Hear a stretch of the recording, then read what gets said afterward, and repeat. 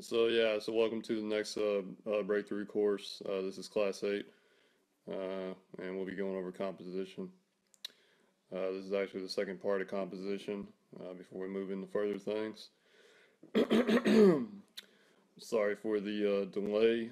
I was sick last week, but we're picking up now, and um, just welcome everybody. Today we'll be we'll be going over.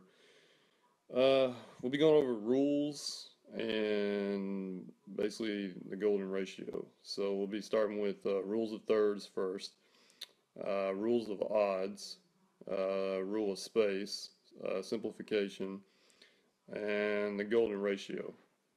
Um, so we'll start with rules of third, and um, I'll give you like a little brief um, explanation on it, uh, definition. The rules of third uh, it's, it's not too complicated. Uh, it's pretty simple. Uh, basically, it's just a guideline. Um, and what, you know, basically what you're doing is you're placing your points of interest um, in certain areas of the horizon. Um, you know, by placing them near one of the lines that would that would divide an image into three equal columns and rows, uh, idly near the intersection of those lines. So uh, I'll show you the rules of thirds. So here's our rules of thirds uh, guideline. I just borrowed this from uh, Sketch Club. So here's our rules of thirds, all right? And uh, basically, uh, what you want is you want to you want to make sure that you know in order to in order to like make your subject to make your your scene more pleasing to the eye more aesthetically um, you want to have like you know your hold on a second. You want to have your subject you know fall around these areas all right so anywhere in these areas it just makes it more more pleasing to the to the viewer instead of placing something like right in the middle or like way off to the side or something like that. Because if you place something in the middle, it makes it like more static. Um, if you if you go off to the, to the side, it's uh it's kind of leading the viewer out of the image, and that's not what you want to do. You want to keep the viewer within this area. Um, you want to keep them tuned in uh, with what's going on in here. All right, so that's a that's a brief summary of it, and uh, I'll, I'll show you guys some examples that I pulled up. Um, I, I did want to like uh, I, I did want to pull up some like old master paintings and some um, some modern digital artists and stuff like that that are well known, but um, I would have had to worry about copyright issues and stuff like that. So I didn't have time for it. So I just went to uh, grab some uh, free images and um, so here's one example, uh, rules of third. And as you can see, the uh, image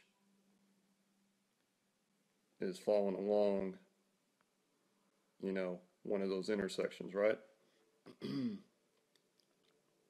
so your main your main part is, you know, hitting one of those intersections. Yeah, and you flip it around, you see the same thing. Okay. And you also have some of the landscape up back here falling on the intersection too, as well as over here. Okay.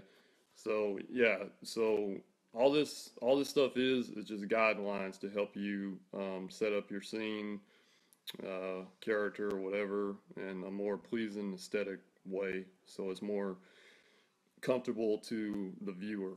All right. Uh, I'll show you another example. And basically, um, a lot of this is just going to be me, uh, it's just going to be me um, showing you examples uh, because there's a lot to it. Um, it's pretty simple uh, for the most part, but um, instead of just going and drawing everything, then I'm just going to show you um, mostly just examples. All right, so I'll show you another one. So here we go. And we have the scene um, of an umbrella with looks like some dogs that are underneath it. So your subject is uh, your subject is falling along the intersection. See, and it don't have to be exact. It don't have to be exactly like pinpoint on it, you know. But as long as it's like in this general area, instead of it being like right here, dead in the center, um, it just makes it more, you know, like I said, just uh, because because you know the the human eye, um, like the way the mind works and everything, uh, you know, people want to see something aesthetic and pleasing. They don't want to see boring or or static or you know just you know something that doesn't look natural. All right. Um, you know, like this this would be more of a natural setting. Um, and it just, you know, gives more interest. It gives more interest to to the viewer whenever they're whenever they're looking at it. Okay. So that's another example.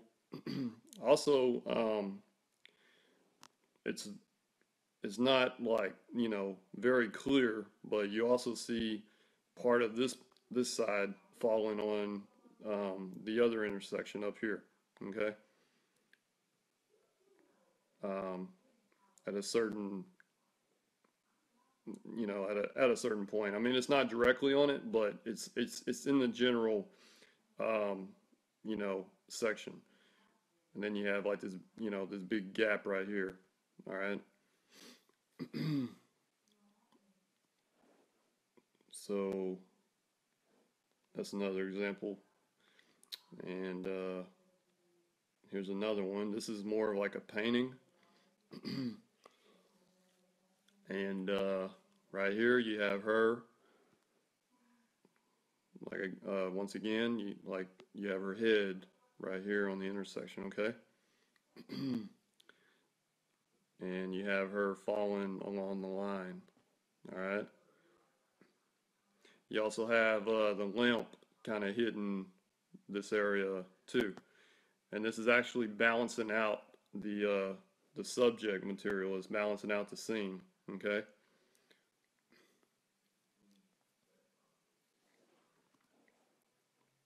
So that's, so there's another example.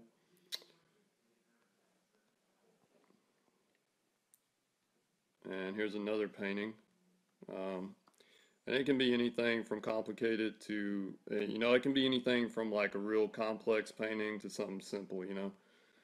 Uh, here's another example, um, just a, a, little bird on a branch. Um, the bird is also falling on the intersection. Like I said, you don't have to hit these intersections directly, but see how he's falling along the line? And he's off to the side. He's not like directly in the middle. uh, a lot of times the middle section would mostly apply to characters um, or like the um, the pyramid um, uh, the pyramid effect. Basically, um, a character if it's like a character profile or a portrait or something like that. That's when that's when you know things would generally fall in the middle. But you know these you know, these are like rules, but it's not laws. So, you know, rules are meant to be broken, right? But you want to try to, you just want to, you know, try to stay, um, you want to, you want to try to stay, you know, in the realm of trying to, you know, make a pleasing subject, you know, um, you don't want to you don't want to complicate things too much for the viewer.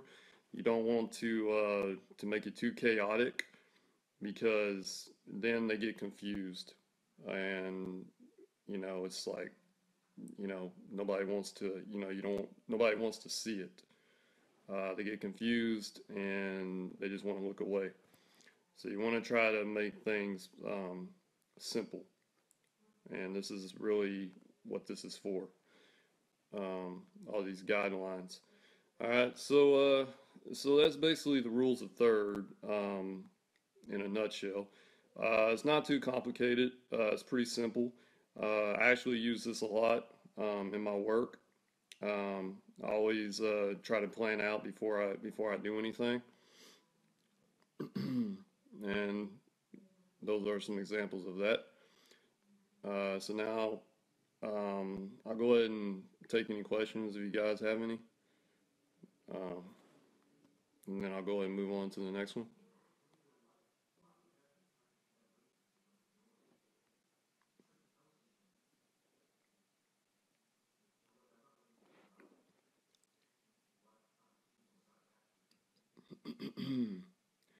Okay, if, if nobody has any questions, then um, how do you plan out with using this rule? Um, as far as like what? As far as as far as the as far as like the layout of the pattern or or what? Like what do you what do you mean?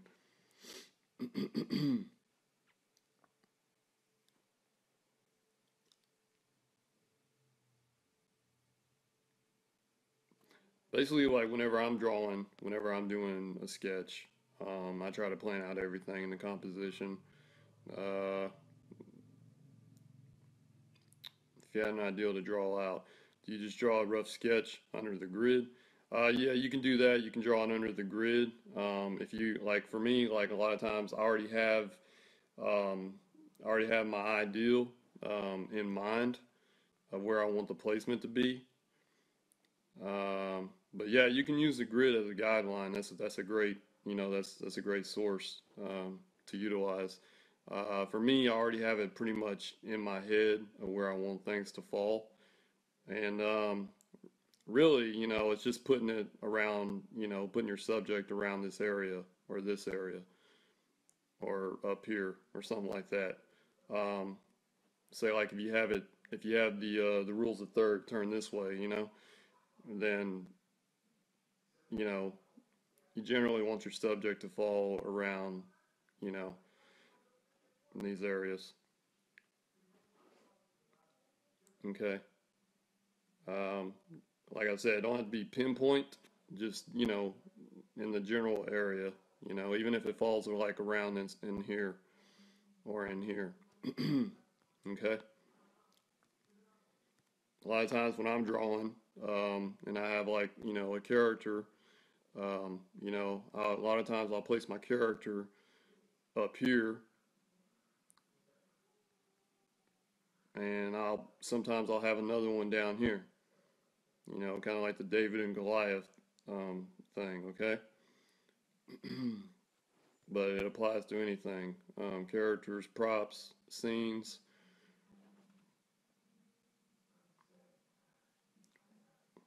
So. All right, so I'll go ahead and move on to the next one. and the next one will be uh, we'll be discussing is uh, uh, the rule of odds. Uh, this one isn't too isn't too uh, complicated either. Um, basically, the rule of odds. The explanation for the rule of odds is uh, um, this this is what it says. It says states by framing the object of interest with an even number of surrounding objects. All right, it becomes more comforting to the eye. It's more pleasing to the viewer, um, and it's more natural. If you have like basically you have uh, your main subject, but then you have other um, surrounding uh, subjects that are not uh, necessarily um, uh, symmetrical to your main subject. So more like asymmetrical or, you know, um, uh, basically like an odd number, an odd number of subjects is more pleasing than an even number. So if you have like an even number of things going across the screen, um, it, it's not going to be as natural as if you had an odd number of um, things going across the screen. And I'll show you, I'll show you an example.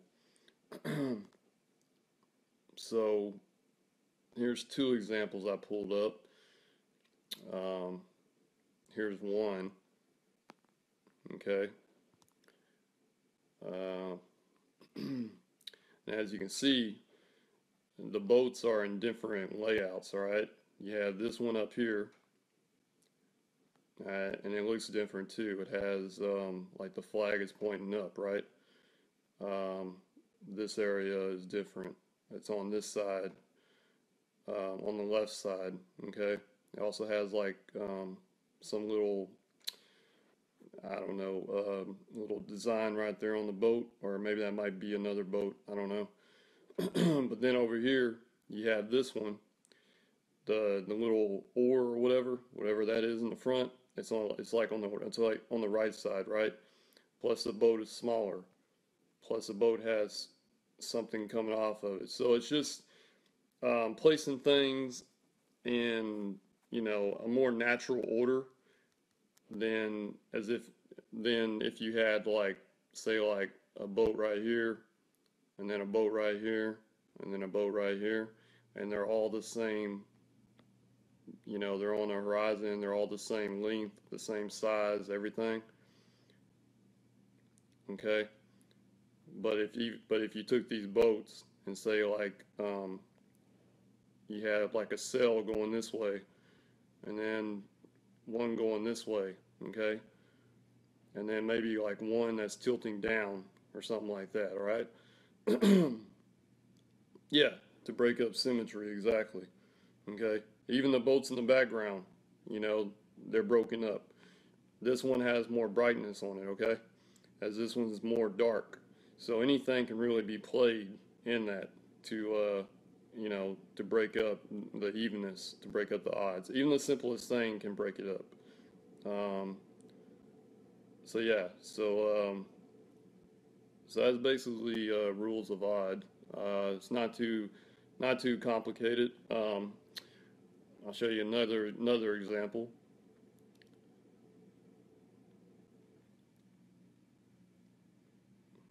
All right, so here we have um, people. Okay? And as you can see, each one's doing a different thing, right? This lady's looking down. This guy's looking way down. She's got a different hat on than he does. Not to mention that she's female and he's a male. She's got a different shirt on. He's got a green. This guy's looking straight. You know, each one of them's got different movement in their in their walks. Okay? the scene blurs back. Um, just all kinds of different factors. Uh, each one has a different color shirt on, so they're not all the same color. Um, you know, these guys have two different hats. You know, each all of them have different hats. You know, and uh, yeah, it creates variety. Uh, same thing with the trees up here. You see the trees um, you see how they're like, they're going up. I mean, really, you wouldn't pay too much attention to the trees uh, more than the people, but this is just another example. Um, you have different variations in the trees. You got that one shorter, this one a little bit taller, and this one's a little bit taller and skinnier. Then you got this one wide, and so on and so forth. All right. So it also adds repetition, and um, uh, you know, it just it keeps things from you know being too even. You know, you got these trees down here, okay. You got these out here. You know, it just breaks up everything, which is which is good. All right. so yeah, so uh, yeah, it's pretty simple. Um, you know, just uh, keep that in mind uh, whenever you're whenever you're working on a piece. Um, if you you know not to make things too static or too you know um, even too symmetrical Uh, so that's basically all that's that's saying. Uh, do you guys have any questions on that? Exactly. It's like science and art. And I gotta tell you, man, before I before I even started doing this class, I was doing some uh, research myself, and I, I would also suggest that too, is to for you guys to look it up yourself, man, because you'll find some really fascinating stuff, especially when I get into the golden ratio. Oh my God, um, that is like one of the the greatest anom- anomalies that you know comes you know all the way back from the Renaissance.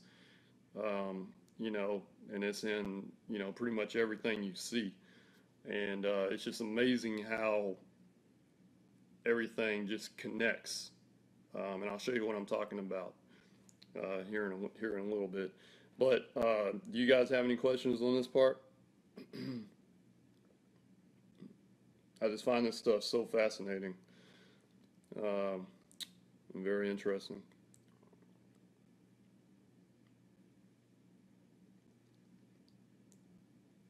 Okay, so if nobody nobody has any questions, then uh, yeah, so I'll, go ahead and move on to the next one.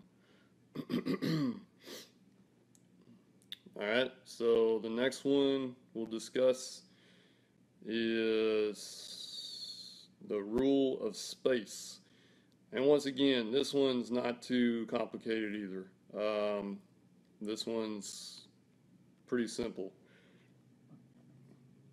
Um, I can only really find like one good example as far as royalty royalty free images go, but I'm sure there's a lot of them.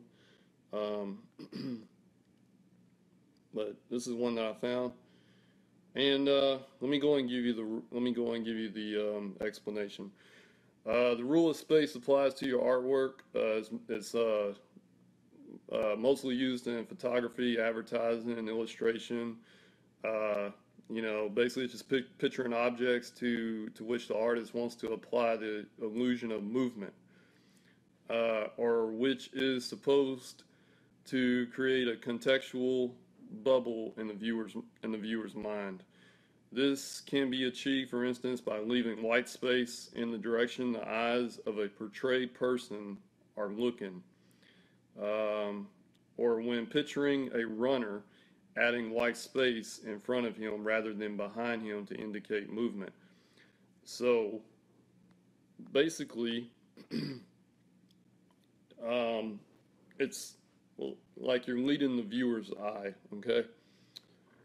Uh, with, you know, with this example, for instance, you're leading, oops, let me, uh, you're leading the viewer's eye this way, all right? You're not leading them this way, okay?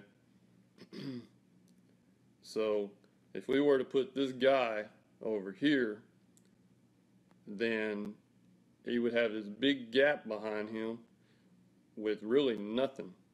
Okay, unless of course you put an object over here or something to balance it out. But if you put him over here, then what's he doing? He's leading the eye out of the image, right?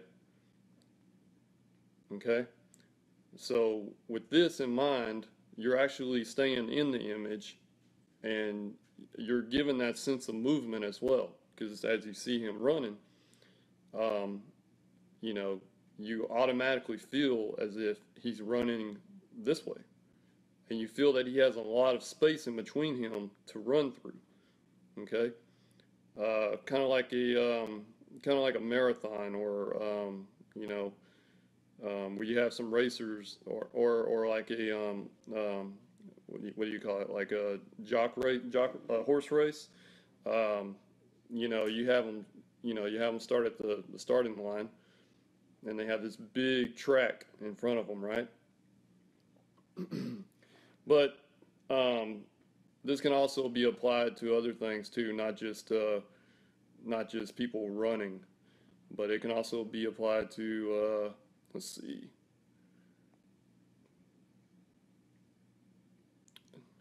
He also has a light tone on his front side and column is lighter on side towards him. Yeah yeah exactly. But uh, this could also be applied to um, here I'll, I'll draw a quick example. Um,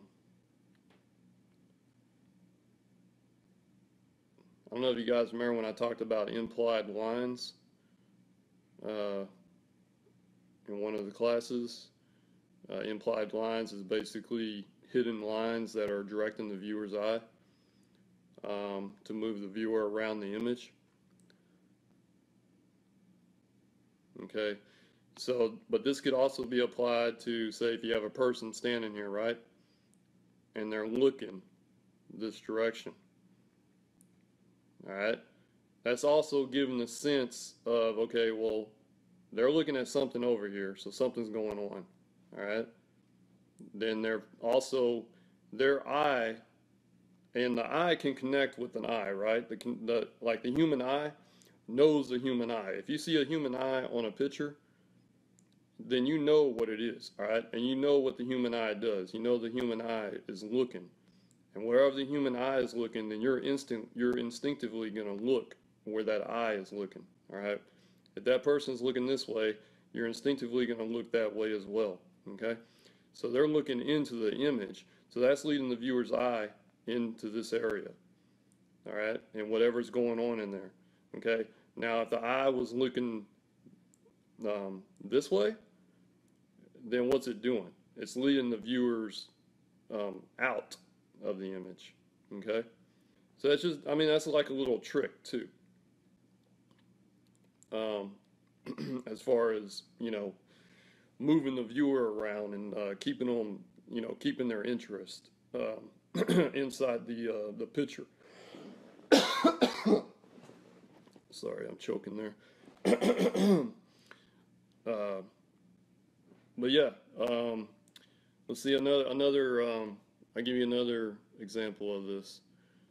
Um, since I was only able to find one example. Let's say you have like um, uh, let's let's do like a plane. Yeah, let's uh, let's have a plane going this way. All right. And you automatically relate with the plane because the plane is going with speed, right? So which way is the plane going? it's going this way, right?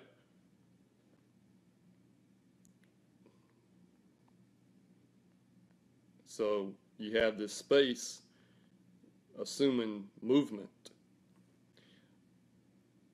Yeah, pop, yeah, exactly, Poppy. Um,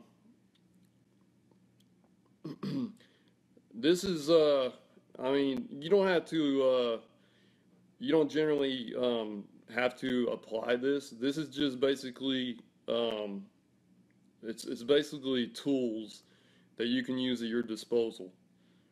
Um, like I said, it's not law.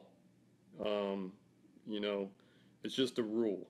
It's a rule that you know is there that has been proven to help with an image. It's been proven to help with um, a scene to make it more um, you know, to give it more life, um, basically.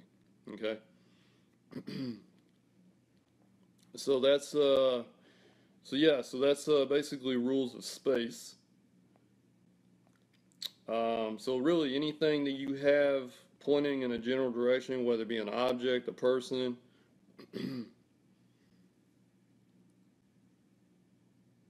okay, hold on a second. Uh, I'll take questions in a second, guys. Um, But uh, do you guys understand this first of all? And then I'll go ahead and uh, I'll go ahead and answer the questions.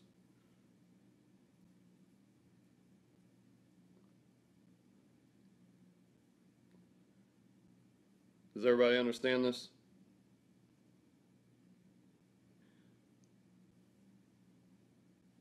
Okay.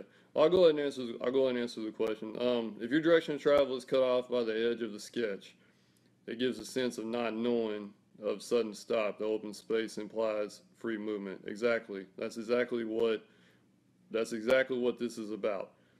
Because you don't want to have like a dead stop. Like you don't like for instance, you don't want this plane you don't want the plane over here because where's the plane going? you know what I'm saying? There's it's like it's leading the viewer out of the image. You want to keep the viewer in this area, as much as you can.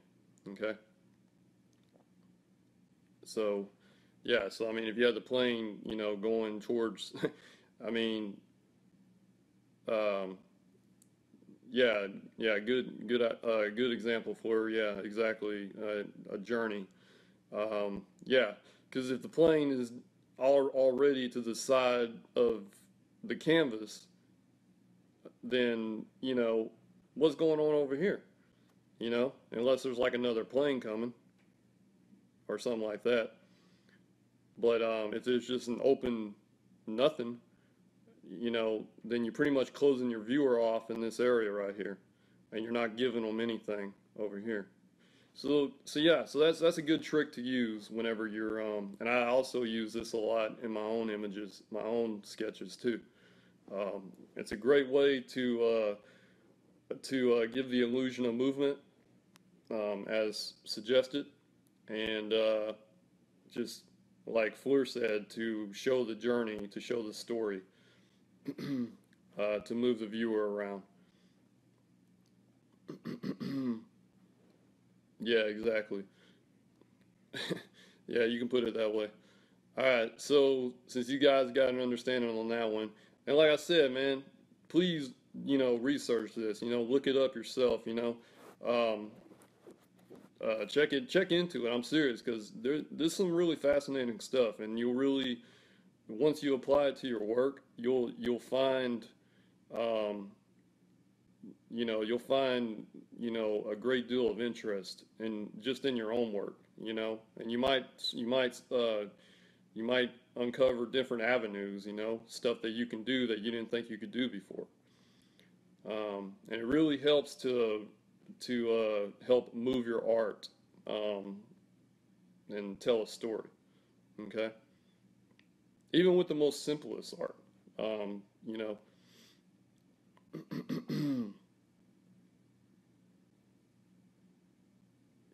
Uh, that that one I don't know, Melanie. I can't answer that one because I don't live in the other countries, so I don't I don't know. Probably. All right, so I'm gonna go ahead. Uh,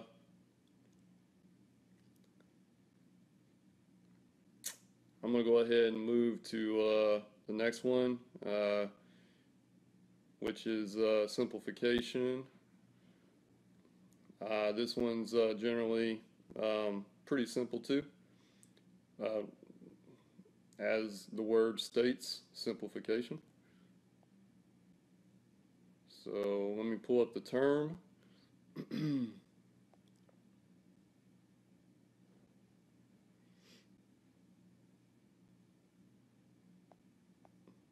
Yeah, this does very fascinating to uh, to look at. Knowledge is power, guys. Knowledge is power, man. That just goes without saying. Um, it's very fascinating to look at look this stuff up, man, and uh, just research it, and then try to apply it to your own work. That's what I try to do all the time. I try to, you know, take these rules and see how they can be, you know, effective, you know, with my own stuff. uh, okay, so now we're moving on to uh, simplification. Uh, with simplification, uh, basically, um, all right, this, this is this is what the explanation is. Uh, images with clutter can distract from the main elements within the picture and make it difficult to identify the subject. All right, by decreasing the extraneous content, the viewer is more likely to focus on the primary objects. Clutter can also be reduced through the use of lighting, as the brighter areas of the image tend to draw the eye, as do lines, squares, and color. Um, in painting, the artist may use less detail and define brush brushwork towards the edges of the picture, removing the elements to the focus of the object, taking only the needed components. Um, basically, simplification is making your main subject pop out more than anything else. Um, and you can achieve this through different through different means, uh, through contrast, colors, value, uh, all this stuff. I'll show you. Uh, I'll show you some uh, brief examples. All right, so here's one example. All right, as you can see, there's some space in here too that I just discussed. See the space? Oops. Let me, uh, see the space that I just discussed? See the butterfly looking this way? Now the butterfly is a little bit further out, but still, it's still giving that, that sense of movement, right? It's pointing the viewer this way. Just the butterfly looking that way. Um, okay.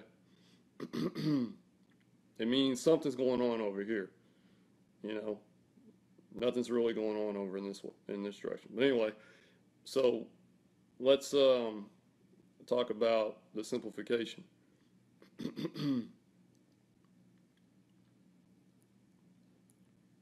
yeah, exactly.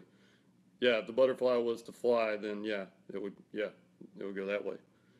It wouldn't go this way. If it did, it'd be leading the viewer out, right? okay, so uh, so yeah, for simplification, see how all this is blurred out? See how the background's all blurred out, including the stem? Okay, and see how see how much the butterfly pops? Like it just instantly pops. If I move it further back, you can really tell. See what I'm saying? and don't uh, don't pay any attention to the border or anything. All that is is uh, I took a photo, but um, but yeah. So see how the butterfly is popping though. It's that's your main subject, so you want it to read the most. All this other stuff is second to none. It's it basically it just complements what's here, what's going on here. Okay. yeah, emphasis and uh, focal and all that stuff that I that I covered. Um, you know that I went through on critiques and all that. Um, even the stem itself is blurred out. It's not as blurry as the background, but it's blurred enough to where it's not distracting from your main subject. Uh, even the flower, if you can if you can see, there's more contrast up here. All right. Also, not to mention the flower, each one is pointing up to the butterfly in a way. It's pointing out to the scene. While the rest of it in the back, that's also leading the viewer's eye. While the rest of it back here is kind of more of a flat, like more of a flat value, or more like um, it's, it's caught in the shadow. So everything that's popping is all this right here, okay? But that, that's just a minor detail. That's um, the the flower is just a minor detail. The main thing is you don't want your background because the flower is actually part of the butterfly, but you don't want the flower to take away from the butterfly either, because the butterfly is obviously your main subject. Okay. Uh, the main thing is the blurred background and like the blurred stem. Of course, you don't want that to distract um, from your main subject. Okay. If it was too detailed back there, it would be way too much. Um, and that would take away from your main subject. okay, I'll show you another example. All right, so we have these two little cowgirls uh, in a field. Okay. and even if I like pull it back, you can see that they, you know, clearly pop out in comparison to the rest of the scene. All right. And that's what you want. that's what you want. You want your main subject uh, to be the center of focus, to be the thing that reads the most. All this other stuff, it just complements. Okay. Uh, even the bright light right here, um, it kind of surrounds um, even the horizon. Um, it surrounds this area to where it makes them stick out even more. Okay? Uh, even the patterns in their dresses. You know, she's got like uh, little, this one's got like uh, different color flowers. She's got like more like polka dots. Um, but every, like all the other stuff uh, really applies to it as well. Um, uh, yeah, it, yeah, yeah, exactly. It's like it's diffused. You have more contrast also in this area where you have less contrast and like in the grass, as you can see, it's more shadowy back here. Um, it gets a little bit lighter up here where it gets really, really bright up here. Okay. but it doesn't detract, it doesn't take away from, um, you know, the two girls standing in the field. And uh, plus over here, you know, it's a little bit more dim. So yeah, so I mean, it just it all helps them uh, to read more because you're not interested in what's going on around them. You're just interested in them. Now, if there was like, say, like a house or something, then that would be your second point of interest, okay? Or a horse or whatever. Um, that would be your second point of interest, but your main interest would be these two. All right. And perhaps you could even uh, you could even move the the image over, um, you know, as far as like rules of thirds go and stuff like that. But I mean, it's, it's still a great image. Um, plus, they have kind of like the pyramid thing going on. Um, They kind of have the uh, the rules of odds going on, with the exception of there being like another person. Um, they have different things going on. They have like um, you know different hats, uh, different different color hair. Like they're not the same person standing next to each other. They're not the same height. See, they both got different heights. Um, so yeah, so there's a lot of things that just you know adds more interest and more more focus and um, yeah simplification. So so yeah so that's another example. Um, you guys have any questions on that? Do you understand that? And this can be achieved in you know with depth of field um, geometry um, symmetry, uh, just uh, creating movement.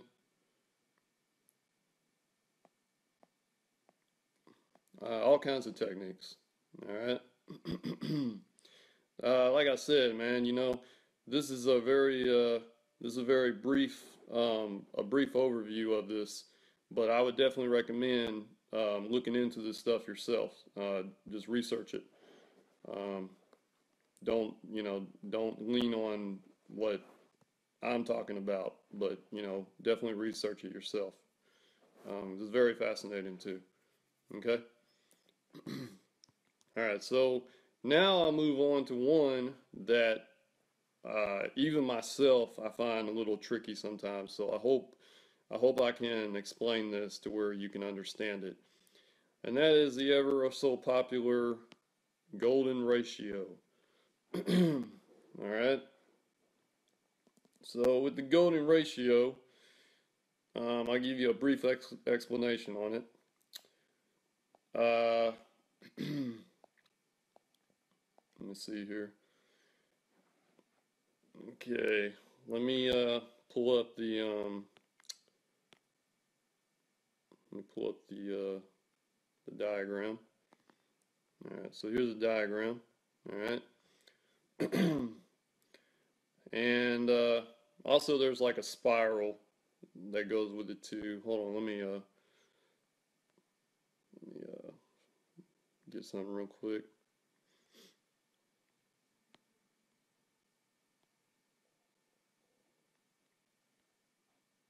There we go. So there's a spiral. Uh, uh, or the golden spiral, which is the little seashell looking thing. Um, uh, the golden ratio is also known as the golden mean, the um, divine proportion, um, the golden rule. It's got all kinds of different names that goes with it. Um, mostly people just call it the golden ratio.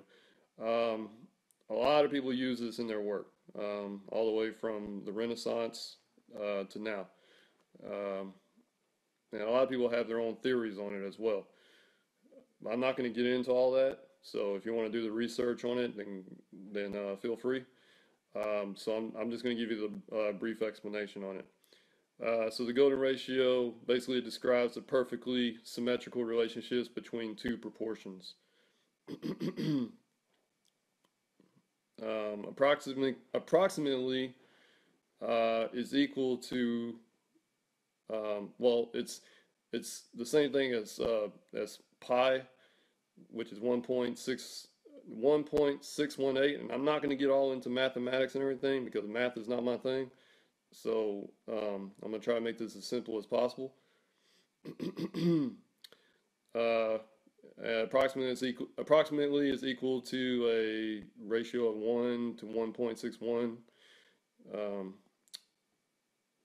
uh, it's a large rectangle consisting of a square which which sides which with sides equal in length to the shortest length of the rectangle in a smaller rectangle. Um, all right, so what that's mean what that's saying is you have hold on.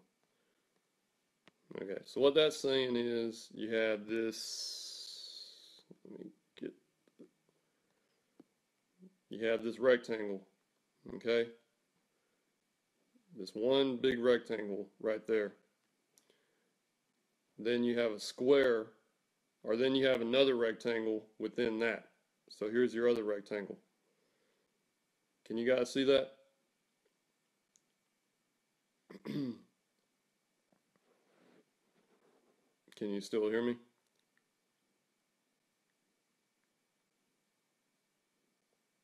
Okay. All right, so you got the rectangle, and then you got another rectangle um,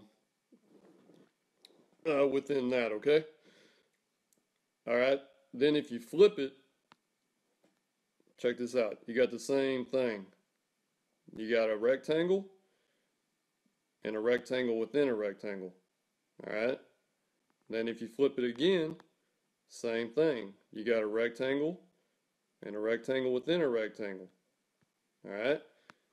So that is the golden ratio. Um, that is in its simplest form. uh, but it does get more complex. Um, at the same time, you have you have a square within this right within this rectangle. So it applies all the way around as well.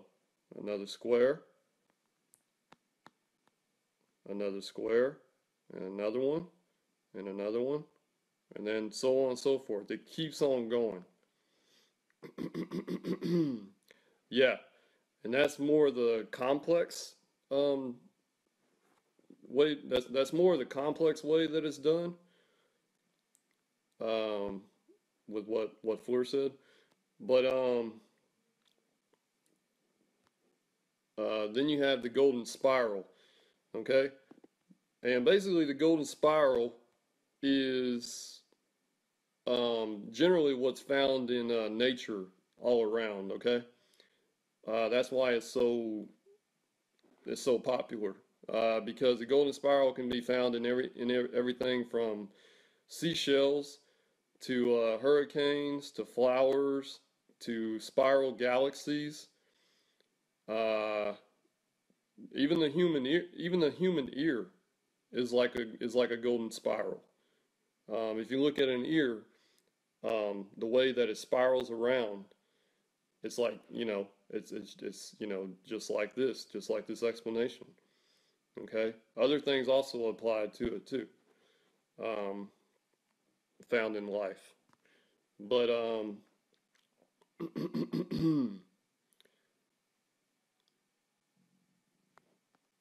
but uh, as far as the um, the golden ratio goes, um, you know, it pretty much applies to everything. It's just uh, basically uh, what it is is it's a it's like a um, um, a pleasing like aesthetic uh, proportions. Um, so sort of like the rectangle to the to the square. Okay, think about it like this. All right, if you got a if you got a face, think about how symmetrical the face is. How how like uh, proportionate the face is. You have the ears that are directly across from each other, right? And this is where the stuff gets really fascinating, man. If you think about it. All right, this is going to give my thoughts on it, but um, yeah, exactly. Beauty um, is set on it too. But uh, think about where everything aligns. Think about where it, it falls into place. Your nostrils. Think about where your nostrils are like right directly across from each other. Your eyes are directly across from each other. Think about where your nose falls, your mouth. Um, everything falls symmetrical down um, the facial area. Okay? Um, just everything. Um, how we have like, uh, you know, another example that was given for uh, the golden ratio um, is like your your uh, fingers. Uh, you think about your fingers from your fingers to your palm to your wrists. It's all like a square and rectangles, right?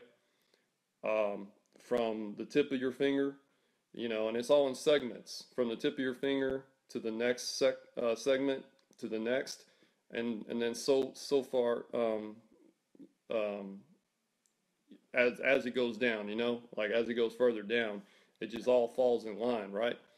Um, you know, we all have two legs, we all have two arms, stuff like that, you know. Um, it's just very fascinating. I, I would definitely, man, I, I, would, I would definitely uh, check out this stuff. Um, but, uh, but not getting too far off the bases. Um, I'm gonna go ahead and uh, show you some examples. Uh, first, I'll show you an example of a painting that I found that uh, you can apply the golden ratio to. But there's so many. There's so many different things that you can apply it to uh, with the golden spiral too. Um, let's go ahead and keep this up. So I'll pull up this painting. Actually, let me drag this over it. All right, now see how instantly the painting falls on the golden the golden ratio, the golden spiral. See where the tip of the um see where the and a lot of this stuff just comes natural. I mean, seriously, it just comes natural. You don't even, it's like you don't even think about it. You just do it. And you're like, if you place one of these on there, then a lot of times you might be surprised where your, you know, your main image, uh, your main subject falls. So basically, like this is pretty much the main subject. Um, this is the the main. Um, yeah, exactly. Yeah, exactly. Um, but say like, okay, the tower is the one thing that's sticking out from the rest of this. I mean, yeah, it has like um, a difference in each house going this way, but the tower is the one thing that um, is touching the golden ratio, right? It's the one thing that's fallen into that spiral. And that's just really cool. And if you think about like also, how the, the viewer's eye moves. Look at how the spiral is leading. It's leading the viewer's eye. Okay? From the grass to the tree, you know, through the clouds. I mean, it's not like obvious down, then you can, you know, but if you break it down, you can see it. It's just really fascinating stuff. I love I love um, doing this stuff. I love like you know researching it and using it and everything. um, also, uh, if you apply the um, yeah, a lot of artists don't even realize that they use this in their own work. but they do. Um, if you apply the golden ratio, if you look at these houses, um, this one for instance, all right, it's in the rectangle. Then you have the little gap right here in a rectangle, rectangle, rectangle, rectangle. Then you have down here the um, the water up here, the sky. It's all rectangles, and then in the center, it's all it's like it's like squares, right? It just blows my mind, man. This stuff is just crazy, dude. Um, how it works. Um, if you look at famous paintings, um, even with the houses themselves, uh, even with the houses themselves, you have like a, like kind of a rectangle right or a square, then you got a rectangle right there, okay? Like a square, a rectangle. All right, like a rectangle. Okay? It's just oh man, it's just it's just it's just amazing, dude. I, I don't know, man. I just get I just get blown away by it. It's, it's such a mystery to me, like how like you know people came up with this, but it works. I mean, it really does. Um, and you can see it, yeah, in every you know every famous artist, pretty much every famous artist paintings, especially from the Renaissance. Uh, Michelangelo, Da Vinci, you know, uh, the list goes on and on. Um, I'll actually show you one of my sketches that I used this on. All right. This is a, a Halloween sketch that I did. I just wanted to uh, throw this up as an example of the um, the golden ratio. Okay. Plus, uh, plus the other um, stuff that I covered as well. but um, so let me uh, transform it. All right. Now see, see what I'm talking about? Um, as, oops, let me see.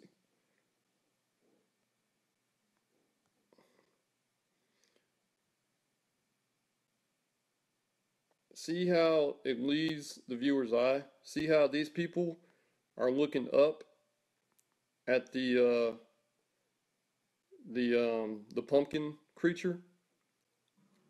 Yeah, also movement in space. There's even a gap between these two guys, between the main subject. Um, I yeah, really pretty much uh, applied everything. uh, the rules of third. Um, you know, you got the um, the rules of third up in here too. Um, I can throw that on there too. I'll show you.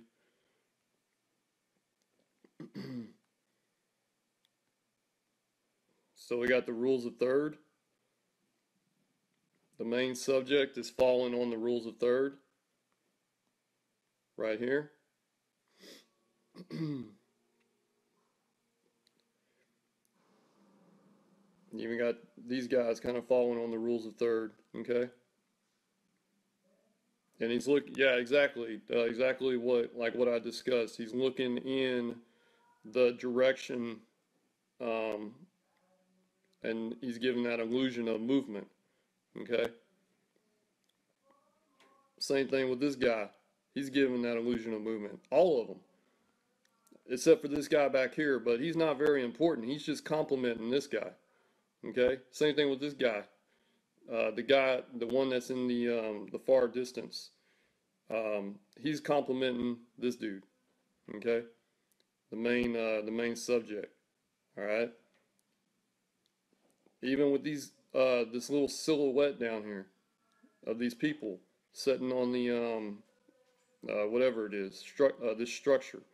See how I have this little girl pointing up at the pumpkin dude, at the uh, I don't know why I keep on saying pumpkin dude the pumpkin creature, and they're all kind of like looking in this direction. It's bringing the viewer's eye back to him. Same thing with this guy. Um, he's looking at the pumpkin guy. His hands are pointing. The only thing that's not pointing is this thing right here, but yeah, and then there's like also um, another thing that um, that you can see is the uh, the sim uh, the uh, simplification too. See how I got all this more sketchy? All this is more silhouette, right? He's more sketchy. Um, your main, your eye is directly um, drawn to this area right here. Okay? yeah, exactly. Um, depths and emphasis. Yeah. Um, but yeah, so I really, I really aim to apply that, apply pretty all those rules uh, to my own work, and this is just an example. Um, now it doesn't happen all the time. Like I said, the rules are meant to be broken. So if you can get away with it, um, and it doesn't take away from your piece, then yeah, go for it. You know, you don't have to apply every single rule, but it does help. It does help add more to your image. um, if you see, I also have uh, the um, the rules of odds um, too. I have it down here with the pumpkins. See how they're all facing in different directions? And some of them are more faded than others. And um, let's see, what else? These guys, rules of odds. All right, see how they're different? You got the little girl, then you got the guy, then you got her um, sitting on the end. These guys too, all different. Everything, everything is different. There's nothing that's exactly the same. Even even the uh, proportion or the the size difference from this guy to this guy to this guy. That's all rules of odds. Same thing with him. you know, so that's a, that's applying all that. Um, even this guy and this guy back here. And you can barely see him, but that's good because he's not important. What's important is him. Then you have your uh, your focal, your main focal. Then you have your your secondary right here. Here, let me uh. You have your main focal, then you have your secondary guy, the guy that's controlling them. Then you move on down to this guy, then these guys, and it just moves around. It moves around the scene, okay? and everything's, you know, pretty much implemented. Then you have the movement. They're all going this way. So it tells a story too. So does this make sense, guys? And that's pretty much it um, on uh, composition. Um, I feel that I can go over with you.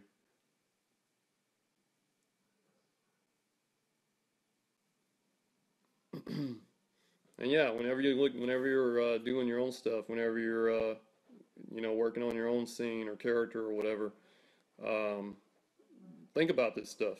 You know, lay down a uh, a game plan before you start working. Uh, even if you have to do like, uh, um, yeah, you're welcome. Um, um, even if you have to do like uh, thumbnails, which is a great idea too.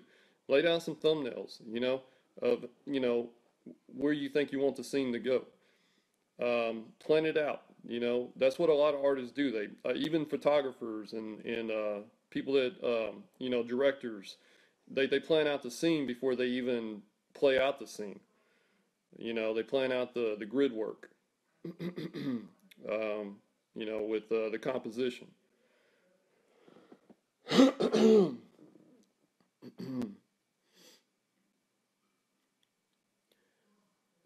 Actually, for a lot of this stuff comes natural. Um, even if even if you're not planning it, um, I'll tell you what, you guys go back and look at your own stuff right now, like, or, you know, after the class or whatever, or whenever you want to. look at your own work and see if any of this applies to your own work. And you'll be surprised that if not all of it, then at least some of it applies to your own work and you didn't even and you didn't even know it. That's what's so amazing about it. um, because you might have some of this already applied to your work and you're not even aware of it. So then now that you've seen a brief um, discussion on it, um, you have a you know you have a you have a good understanding on it. Um, I hope that you can actually go back and look at your own work and apply it to your own work if it's not already there, you know, or you can see that you already laid it down um, on your own stuff.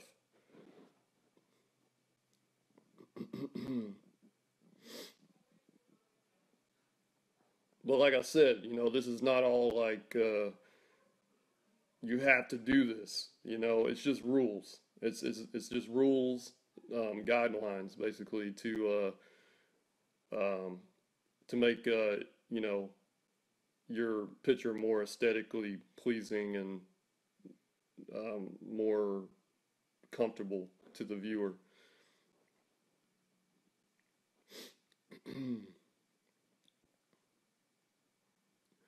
But yeah, I really like. I really hope this helps, guys. I know it's really helped me out a lot um, since I um, got into this and I started studying it more and just doing research and you know and applying it to my own work. But um, I mean, that's all I got.